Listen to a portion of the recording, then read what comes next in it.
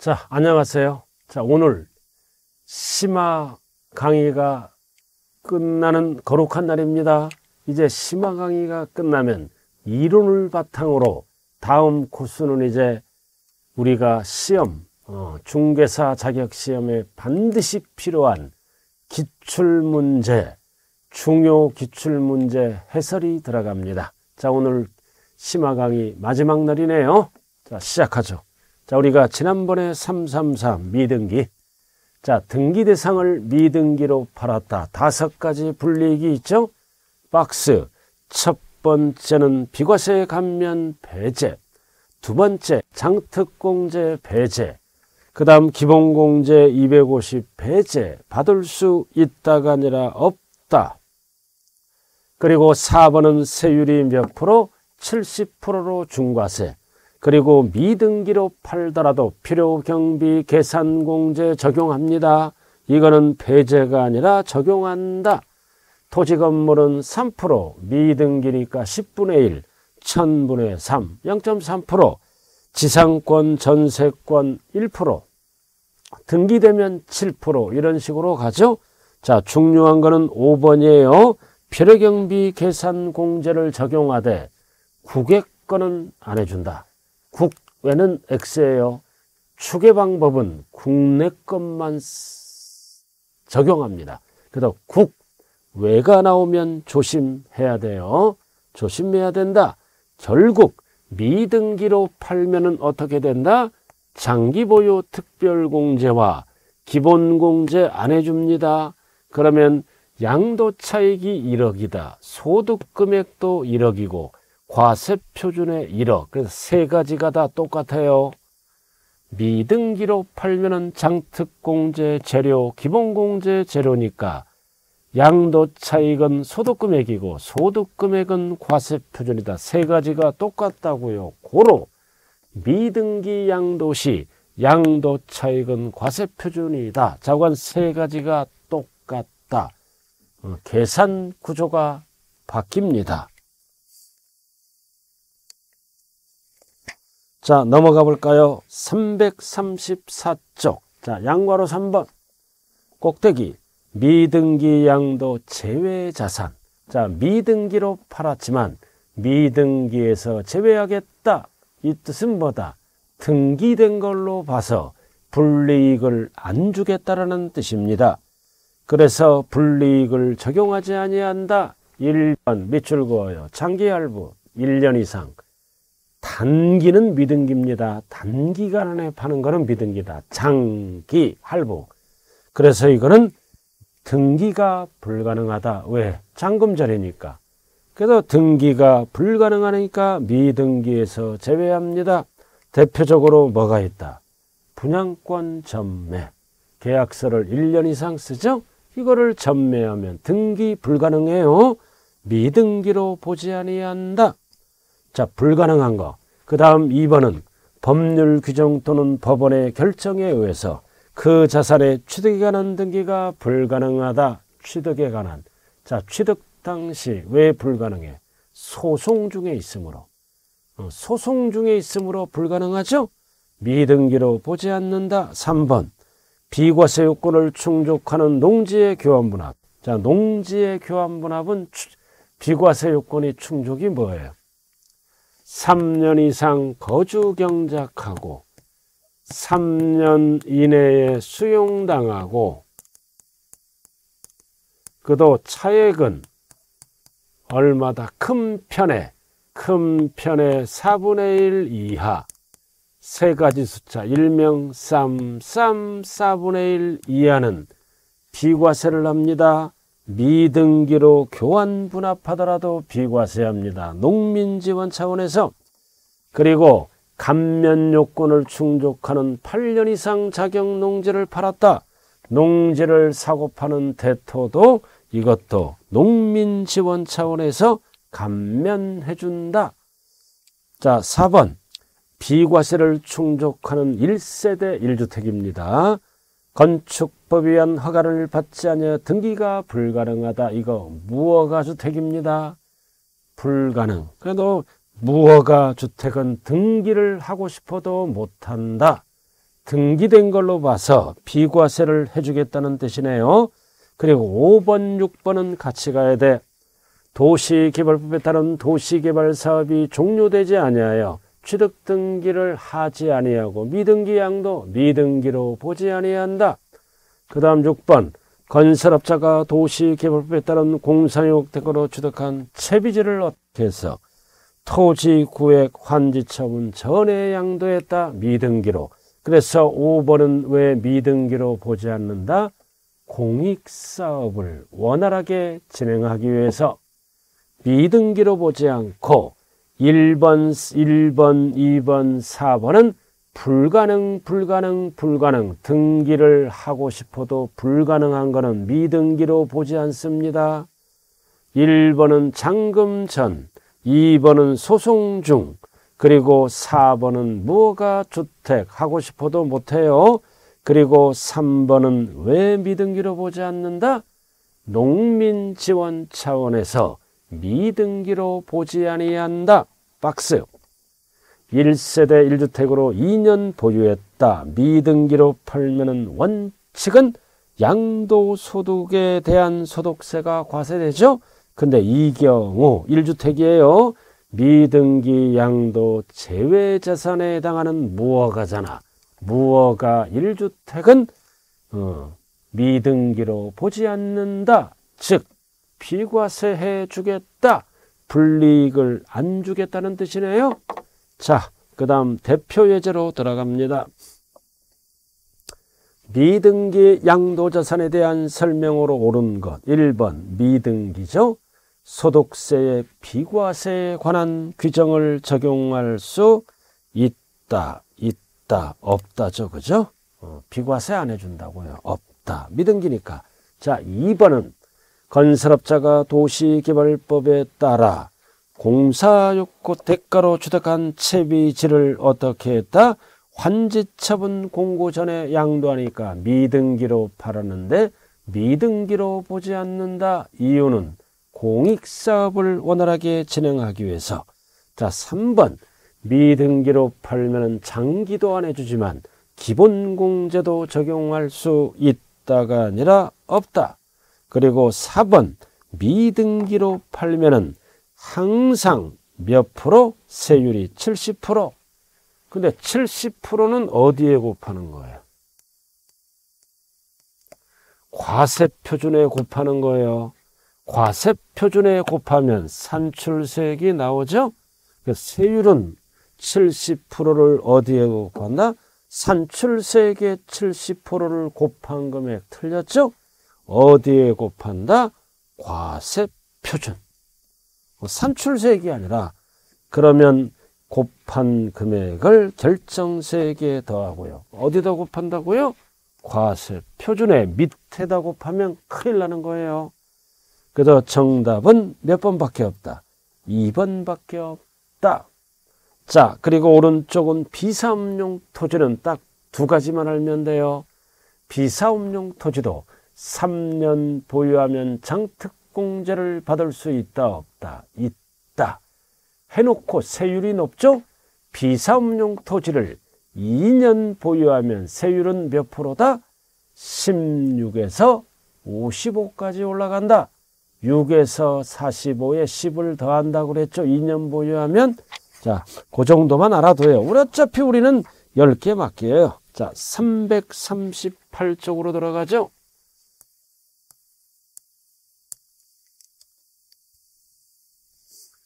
자, 양도소득세 신고와 납부로 들어가네요. 자, 양도소득세 과세대상 자산 파생상품은 제외합니다. 이거는 확정신고만 하는 거예요. 를 양도한 거주자는 양도소득 과세표준 예정신고내 납세지 관할시장에게 신고한다. 자, 이 경우 양도 차익이 겹거나 손해가 날서라도 적용한다. 이렇게. 음, 그래서 양도세를 신고하는 방법은 미리 미리 하는 게 예정 신고 기한 어, 또는 1년에 한 번 하는 거를 우리는 뭐라 그런다? 확정 신고. 아무 때나 하는 게 아니죠. 그럼 예정인지 확정인지 잘 봐야 됩니다. 자, 예정 신고를 하여야 한다. 강행 규정이에요. 예정 신고를 안 하면 가산세가 부과됩니다. 그리고 이 경우 양도 차익이 없거나 손해가 나더라도 신고하여야 한다. 안 하면 불이익을 당합니다. 자, 그 다음. 자, 양도세를 하기 전에 뭐를 알아야 된다? 납세지와 납세 의무자를 구분해야 됩니다. 납세 의무자. 납세 의무자.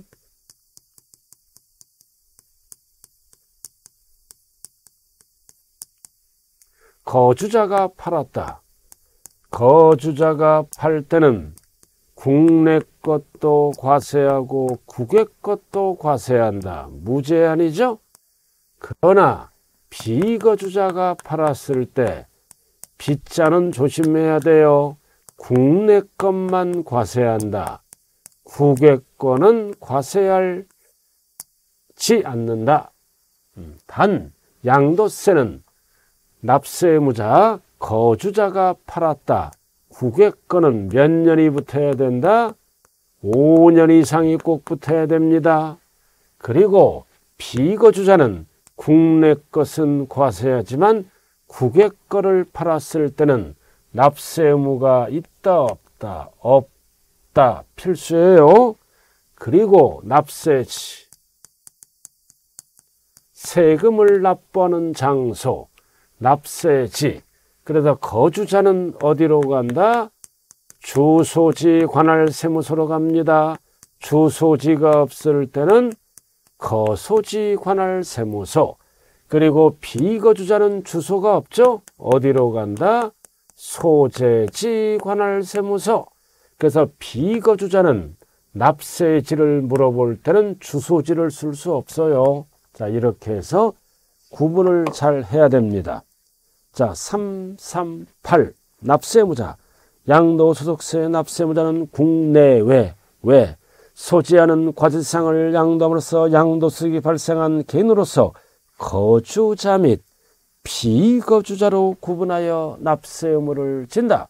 그래서 오른쪽 거주자가 어떤 자라고 배웠어요? 국내에 주소를 두거나 일 과세기간 1년 동안 183일 이상 거소를 둔 자를 뭐다? 거주자라 그래요.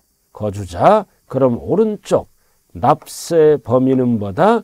국내 국외 구분 없이 모든 소득에 대해서 과세한다. 무제한. 그래서 거주자는 국내 것도 납세무자가 되고 국외 것도 납세무가 된다. 그러나 국외가 들어가면 조심해야 돼요. 왼쪽에 거주자가 국외 국단 별딱 붙여 단 국외 재산을 양도할 때는 몇 년 이상만 납세무자가 된다? 5년 이상. 5년이에요. 음. 자, 그 다음 비거주자는 거주자가 아닌 자고, 그럼 비거주자는 누구만 납세무가 있다? 국내. 제한됐죠? 그래도 고로 비거주자는, 비거주자는 국외 거는 납세할 의무가 없어요. 우리가 모르기 때문에 비거주자 국외가 나오면 조심해야 됩니다. 자, 그 다음 납세지, 거주자. 그럼 거주자는 어디로 간다? 양도자의 주소지 관할 세무서, 주소지. 다만 주소가 없는 경우는 어디로 간다? 소재지. 자, 1번 요 정도만 알면 되고요. 비거주자, 빚자가 들어가면 조심해야 돼요. 비거주자의 소득세 납세무자는 국내 사업장이 있는 경우 어, 사업주죠? 그럼 사업장 소재지 관할 세무서고 국내 사업장이 없는 경우 셀러리맨이네요. 셀러리맨 없는 경우는 뭐다? 원천 소득이 발생한 장소. 그래서 비거주자는 주소지를 쓸 수 없다. 소재지 또는 소득이 발생한 장소. 자, 그 다음 02번 양도소득 과세표준 예정신고로 돌아갑니다. 이거는 강행규정이에요. 강행규정. 예정 신고를 안 하면 뭐가 붙어버린다? 가산세가 붙습니다. 보통 징수로 전환되겠네요. 그럼 예정 신고는 막 하는 게 아니죠. 기한. 그래서 1, 1번 토지 건물 부동산에 관한 권리는 양도일에 속하는 달. 양도일에 속하는 달에 반드시 뭐가 붙어야 돼? 말일부터. 몇 개월 이내에 한다. 2개월. 2개월 이내에 신고도 하고 납부를 해야 됩니다. 신고해야 된다. 게다가 2개월 앞에는 반드시 뭐가 붙어야 돼? 말일. 음. 말일. 야, 세 글자로 양도일. 네 글자로 뭐라 그래요? 양도시기. 다섯 글자로. 장금 받은 날. 대금 청산일. 등기가 빠를 때는 등기일로 따지고. 등기일로. 자, 양도일이 4월 20일이야. 예를 들어서 잔금 받은 날. 그럼 몇 호 자산? 1호 자산. 언제까지 한다? 말일부터 4월 말일이죠. 그럼 언제까지 해야 돼요? 6월 30일까지 이렇게 예정 신고 기한입니다. 양도일이 4월 20일이다. 그럼 더하기 2하고 끝은 항상 말일이 나와야 되겠네요. 자, 그 다음 니은 예외. 부동산 거래 신고 등에 관한 법률에 따른 토지 거래 계약에 관한 허가 구역에 있는 토지 밑줄 그어요. 허가 구역에 있는 토지를 팔았어요. 무슨 뜻이다? 허가 받고 파세요. 근데 뭐 했어요? 허가를 받기 전에 대금을 청산했다. 이럴 때는 양도일이 아니라 어떻게 따진다? 허가일에 속하는 달의 말일부터 2개월. 자, 토지를 팔았어. 허가구역에 있는 토지. 잔금은 4월 20일 날 팔았는데 허가는 허가는 한 달 뒤에 5일 5월 25일 날 허가가 떨어졌어. 그럼 무슨 뜻이다? 허가 받기 전에 허가 받기 전에 잔금이 끝났죠? 그럼 이거는 무효다. 허가가 나야 유효가 됩니다. 그래서 이럴 때는 허가일 말일부터 2개월 이내 합니다. 그럼 언제까지 해야 된다?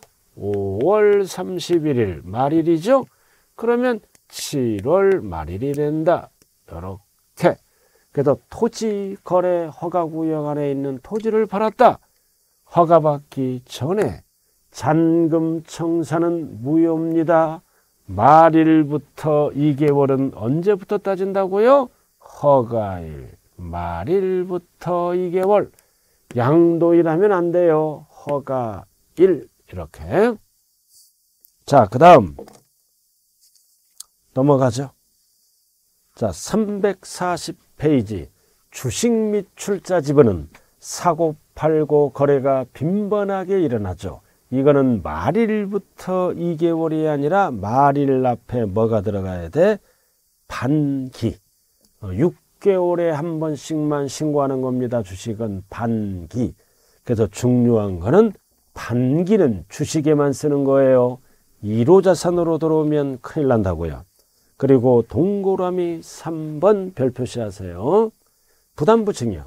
채무는 양도다. 나머지는 증여다. 그럼 양도세 채무는 말일부터 2개월을 이내는데 3개월의 밑줄 그어요. 이에만 3개월이에요. 예, 증여도 섞여 있으므로 채무는 양도다. 언제까지 예정 신고하라?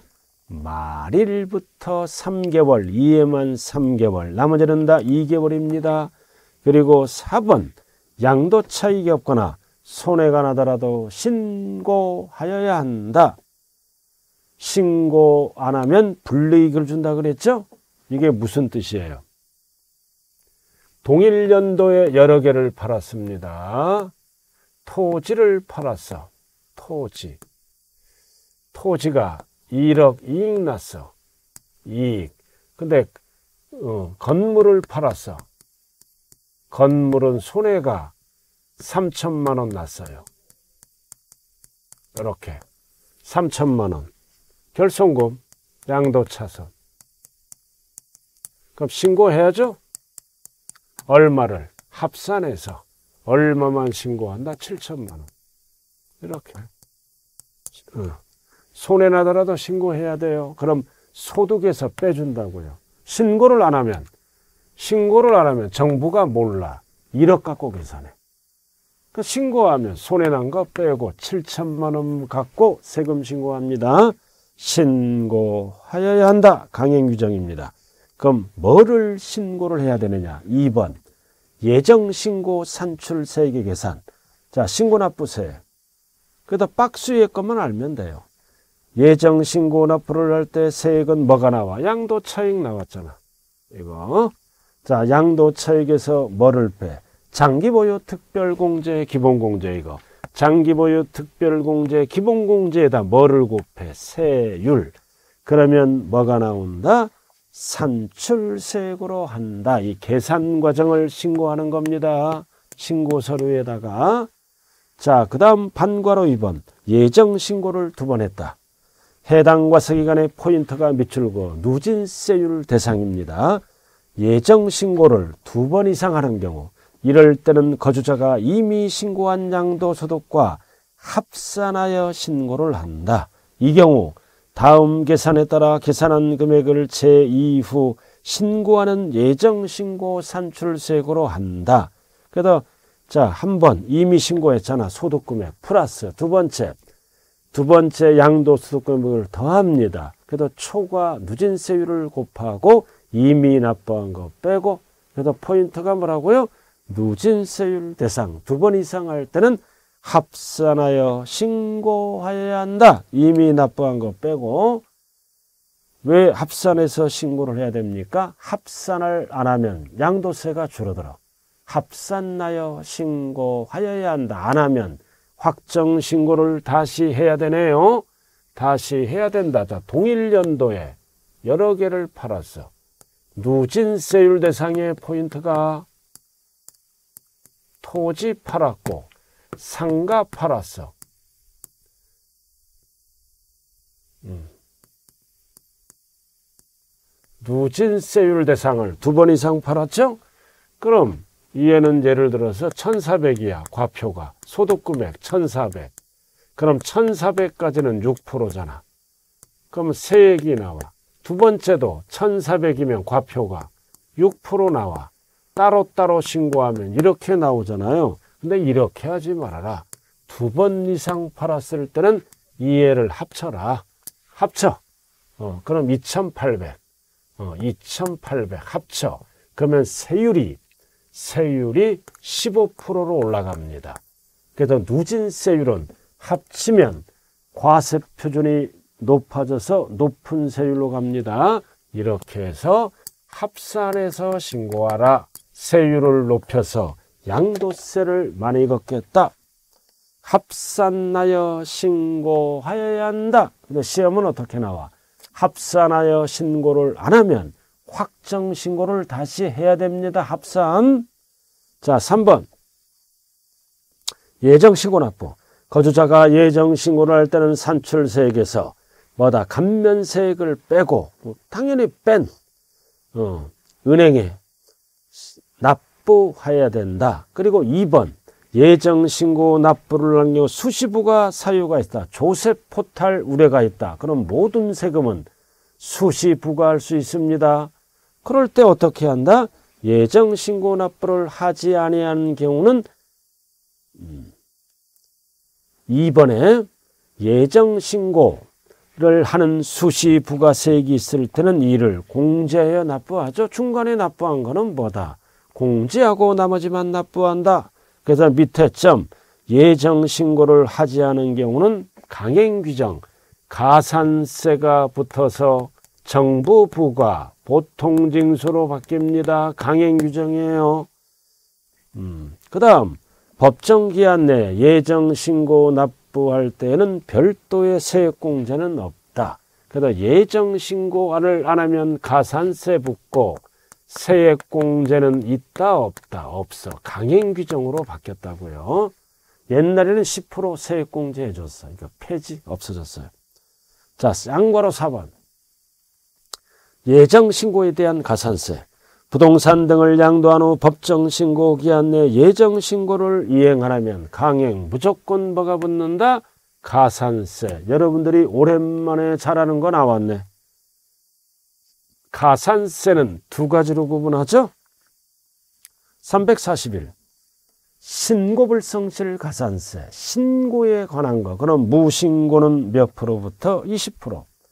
밑줄 그어요. 무신고 납부 세계 20%가 가산세로 붙습니다. 부정, 사기 부정은 사기 부정은 무신고 납부 세계 40%가 붙어요. 국제 거래는 60%까지 올라간다. 어, 과로는 필요 없고 그다음 과소. 그럼 과소 신고하면 10%가 붙죠? 뭐에 10%? 과소 신고 납부 세계 10%가 붙어요. 그 부정 사기 부정 부정은 40%가 붙는다. 뭐에 40%가 붙는다? 과소 신고한 납부 세계 40%. 그래서 5번 6번을 합쳐서 뭐라 그런다? 신고 불성실 가산세로 구분합니다. 무신고는 20%, 과소신고는 10%, 사기 부정이다 40%, 그 다음 납부지연가산세입니다. 납부지연가산세는 뭐가 나온다? 납부를 하지 아니하거나 납부해야 할 세액보다 적게 납부하면 뭐가 붙는다? 납부 지연가산세 1번 하루하루 따져요. 납부 지연가산세는 하루하루 일, 일일 가산세다. 10만원당 얼마? 22. 10만원당 22. 그래서 가산세가 붙으면 보통징수 하죠? 보통징수 정부 부과하잖아. 그럼 납부를 안 해. 납부를 안 하면 뭐가 붙어? 납부 지연가산세 몇 프로 붙는다? 3% 고지서가 날라왔습니다. 고지서 발급. 그래서 2번은 뭐다? 고지서가 날라왔잖아. 1번은 뭐다? 고지 전 납부 지연 가산세고 10만 원당 22. 이제 고지 후 고지 후 그래서 법정 납부 신고 기한까지 고지서가 날라왔잖아. 고지 후 납부를 안 하면 몇 프로 붙는다? 몇 프로? 3%. 그래서 1번은 뭐다? 신고 납부를 이행 안 했을 때 고지 전에 뭐다? 10만 원당 22가 붙고 그럼 체납된 세액과 10만 원당 22를 합쳐서 가산세가 날라오죠? 그럴 때는 고지서 3% 납부지연 가산세를 얘기하네요. 그래서 1번, 2번을 합쳐서 뭐라 그런다? 납부 지연 가산세라고 얘기합니다. 자, 대표 예제. 부동산 거래 신고에 관한 법률 규정에 의한 거래 거래 계약 허가 구역안에 있는 토지에 대해서 23년 1월 30일 매매 계약을 체결하고 23년 2월 28일 매매 대금을 모두 수령했다. 그럼 양도일은 언제라 그랬어요? 잔금 받은 날. 등기가 빠르면 등기 등록일. 그래서 양도일은 언제다? 2월 28일. 양도일이에요. 잔금 받은 날, 매매 잔금. 근데 허가는 언제 났어? 5월 30일. 허가가 났네. 그럼 이 뜻은 뭐라 그랬어요?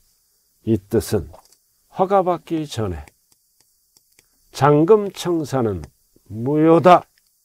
무효. 그래서 예정 신고는 허가일에 속하는 달의 말일부터 2개월